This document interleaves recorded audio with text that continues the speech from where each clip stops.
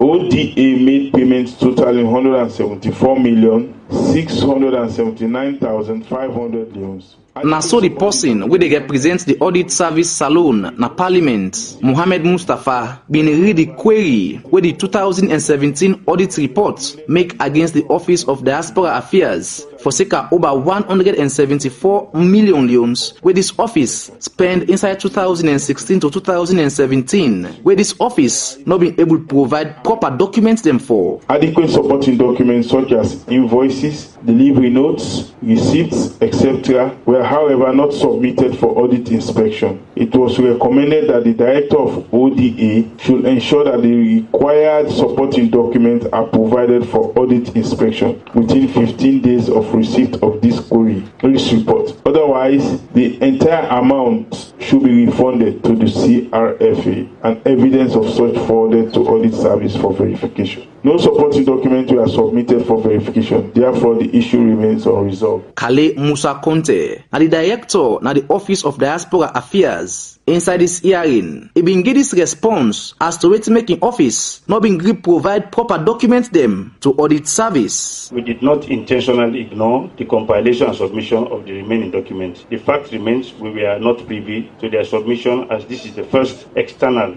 audit that we have experienced since the creation of this office. However, we have taken note of the anomaly and we endeavor to correct it in future. But I'm quite sure these documents are in place. honourable lahai mara na deputy chairman na the public account committee na parliament e talk about di recommendation wey the audit service make to the committee for this attitude wey the office of diaspora put up and the action wey the committee wan for take against the office of diaspora affairs In that particular response, you accepted that the document were not there according to that response. And then um, the auditors made a recommendation to refund the money. This audit is being done in 2017 relating to 2016. And you have much time to have submitted this particular document to the auditors because you are aware of the query and you know it is in your book.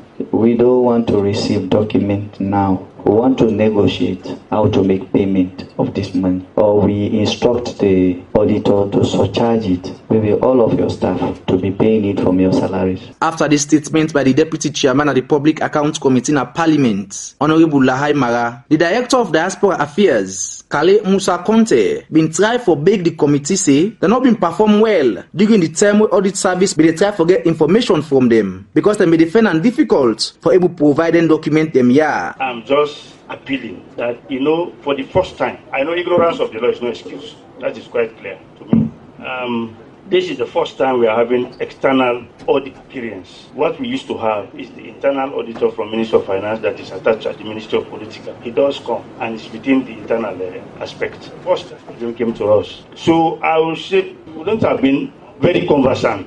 mr conte Yes, sir. yes we do agree that this is uh, it was the first time you receive external auditors but the law is the law and you self admit it Yes, I know. And uh, you do have procedures that you should follow. Maybe in um giving out or executing certain transactions. Your finance officer should have advised you properly that these are documents we cannot go without whether the auditors or not. The law is the law. Thank god you said it. But as yeri di deputy chairman of the public account committee honourable lahai mara say dis issue serious. And go make sure say the office of diaspora affairs do the right thing or pay back the over 174 million loans wey dem no able for give account for from 2016 dis make i bin tok to di director na di office of diaspora affairs kale musa conte as to why im office no bin submit dem document dem ya wey get for do with di over 174 million loans wey dem spend inside 2016 for meet up 2017 I get staff dey wey I recruit wey some dem na fairly new dem just comot university dem no familiar with the concept of audit so these are people that are learning from the process you no go expect dem in a old teacher you no dey expect dem for go for know everything today so we get internal audit service na the ministry wey dey supervise this office now then we're familiar with, and then procedures and processes. Then the, the finance officer, unfortunately, he did on maternity leave. He just born yesterday. A day na hospital still, you know, go na shit. But uh,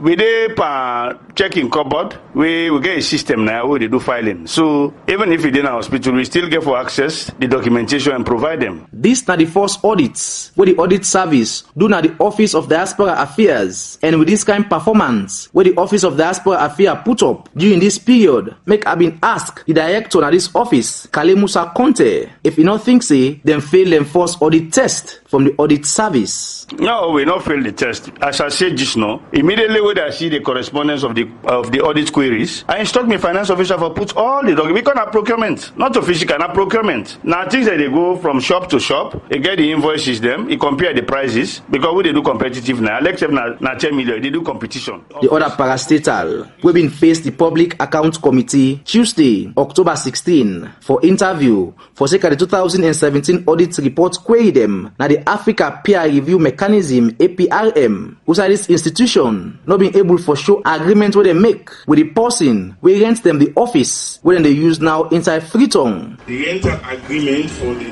APRM office space at Sanders Street was not signed by either party, even though the institution is presently occupying the building and extensive repairs were being done at a cost to APRM without any agreement. Professor Usman Gla, na chairman for the Africa Peer Review Mechanism na Saloon. This na be in response to this query to the Public Account Committee inside this hearing. Yes, indeed, um, there was an agreement drafted, and uh, I, execu- as executive chairman, the owner of the place was not in country, she was out of country in London. Because of that, we did not pay the rent, and even the rent has not been paid up to now because that aspect of signing the agreement from our side was not fulfilled. Honorable Lahai Mara, the deputy chairman na the Public Accounts Committee, been asked Professor Gbla this question. Do you have an agreed figure that you should be paying Yes. And how much? It's in the agreement.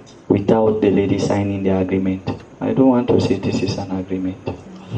It's a draft. where it is not yet completed for two years and you are still occupying that place without you paying. And you've done some repairs. At what cost? Well, it's about 11 million. It's not is about. You have to be definite here. As you hear, it's not been easy self for the chairman na the Africa Peer Review Mechanism APRM, Professor Blah, as e been face the Public Accounts Committee. Inside this hearing, the committee carry on for fair note say APRM no been paid two year rent for the office dem tap now. wey according to the chairman for APRM, Professor Blah, this money na twelve thousand dollar wey the person wey even get the host inside this office dey. According to Professor Blah, no know about this money I ate.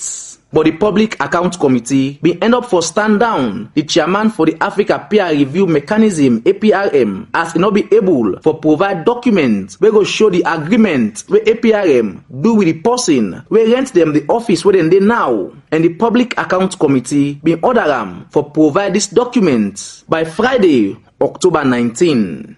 Mr. Speaker, honorable members, considering the heavy workload of Parliament, I rise on SO 82 to suspend SO 51 to move that the next adjournment date be on Monday. na so di leader of government business na parliament honourable sidi mohammed tunis bin move one motion for make mp dem sidon monday october 22 and na standing order 82 e use for tap standing order 51 for make dem sit monday wey no don dey happen and the leader of the main opposition apc party honourable chernor maju bah bin second this motion We make the speaker of parliament honourable dr abbas bundu bin ask am for the reason why this for happen and e been explain. Mr. Speaker, if that meets your permission, I will second the motion, sir. I would have liked the mover of the motion or the seconder to please explain to us the purpose of that request before I put the question.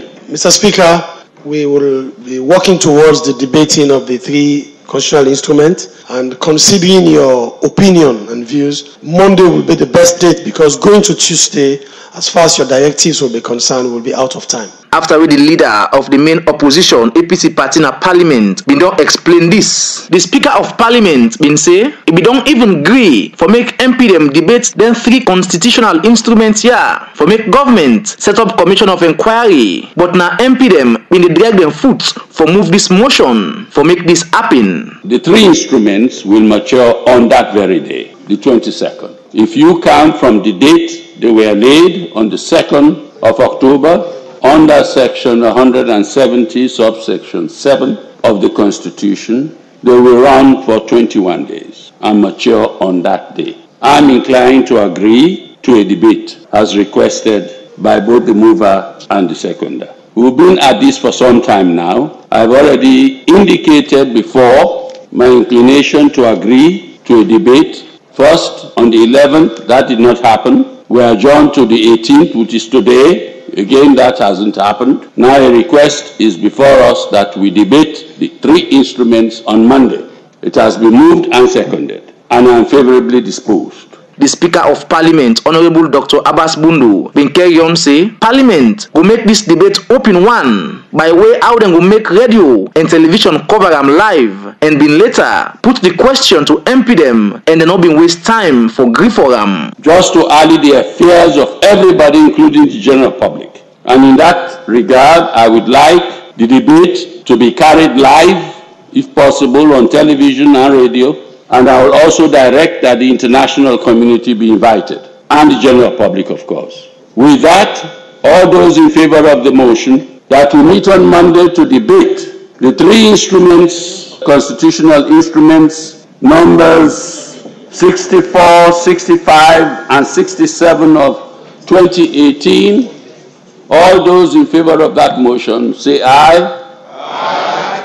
Those against say nay. The ayes have it. The debate will be on Monday, 10 o'clock, and nothing else will appear on the other paper except that item.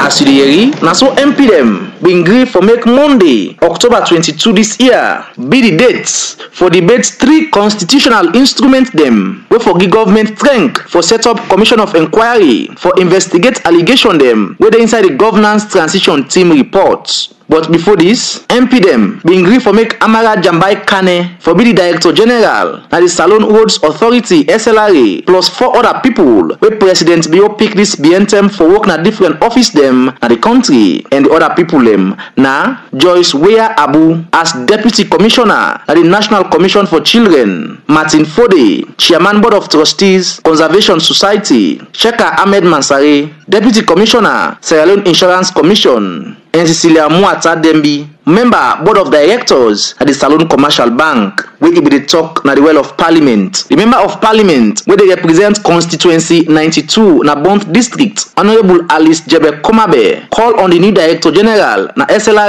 for pay at ten tion to di road wey dey link bo to matrujong on the road condition in the southern province of Sierra Leone, especially the road linking from Bo to Matujong. That particular road is a death trap. It has been ignored for decades. Fortunately, it had been commissioned by HE the president for construction. But please, sir, we want to see action.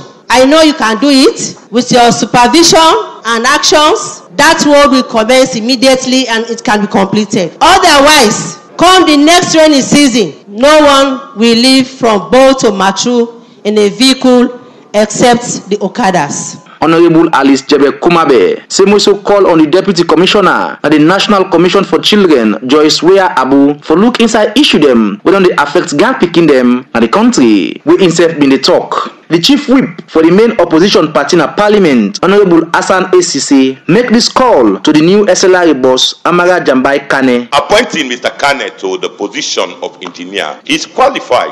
No question about that. But I know he could do what is supposed to be done at the SLR. I want to draw the attention of this house and to all of people that sometimes let us ensure that we do the right thing. Roads are not only bad in the southeast. They are also bad in the northwest. Let us pay attention to them. I want to call on the people who have been given this. different member them of parliament being called on the five people them they don't approve for put the country first dem dey do dem work and make them do dem work fine for make the new direction agenda succeed for the society for radio democracy mina abdulai gbla dey report.